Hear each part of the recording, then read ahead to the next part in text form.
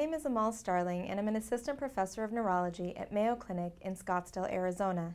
I'm the author of the Mayo Clinic Proceedings review article titled Diagnosis and Management of Headache in Older Adults. This narrative review article is focused on the management of headache in older adults from diagnosis to treatment. Headache is a common disabling neurologic problem in all age groups.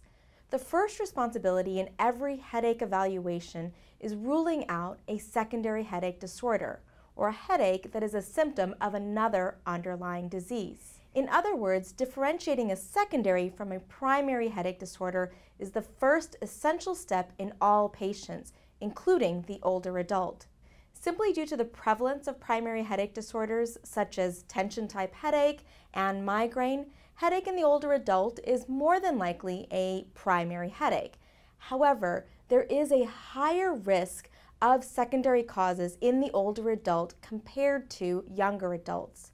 In addition, treatment options, regardless of primary or secondary headache, need to be tailored to the older adult due to altered pharmacokinetics, risks of polypharmacy, and the presence of comorbid medical conditions. As discussed in the narrative review, it is important to look for headache red flags during the history and the exam. One headache red flag is the new onset headache in the older adult defined as greater than 50 years old. Other red flags include systemic symptoms, focal neurologic symptoms, thunderclap onset headache attack, which is where headache reaches peak intensity in less than 60 seconds, papilledema on examination, a positional component to headache, headache precipitated by valsalva or exertion, or a progressively worsening headache. Some more common secondary headache disorders in the older adult are cerebrovascular ischemic or hemorrhagic events, intracranial neoplasms, post-traumatic headache, giant cell arteritis, cervicogenic headache, or headache attributed to medications, sleep apnea, glaucoma, or even cardiac cephalalgia, which is a headache that is precipitated by exertion as a manifestation of cardiac ischemia. Now, once a secondary headache disorder has been ruled out with appropriate diagnostic testing, a primary headache disorder must be accurately diagnosed. Migraine, even in the older adult, is common and disabling. However, it is important to note that migraine characteristics can change with age. Sensory sensitivities such as photophobia and phonophobia decrease, as do nausea and vomiting. Neck pain can also become more prominent in migraine in the older adult. Now, migraine aura without headache is more common in the older adult and can be confused with a transient ischemic attack or a TIA. This can be very challenging and requires a thorough stroke, stroke workup at onset. However, symptoms with a sequential or marching pattern that increases over minutes are more consistent with migraine aura whereas focal neurologic symptoms that occur suddenly are more consistent with a TIA. That being said, new onset focal neurologic symptoms should undergo a stroke workup due to the similarity in presentation. In addition to ruling out a secondary cause, the treatment of primary headache disorders must be tailored to the older adult due to the higher risk of medical comorbidities, including cardiovascular and gastrointestinal disease, or even both altered pharmacokinetics, and risks of polypharmacy as well. For these reasons, non-pharmacologic treatment options, including evidence-based biobehavioral interventions such as biofeedback and cognitive behavioral therapy should be optimized as much as possible.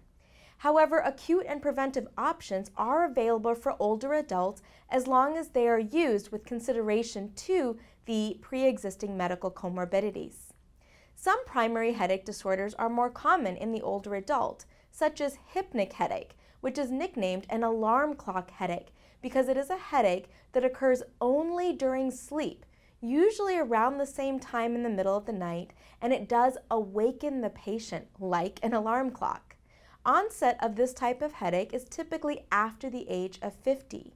Interestingly, one of the effective treatment options is caffeine prior to bedtime, which surprisingly doesn't cause insomnia, and other treatment options include melatonin as well as lithium.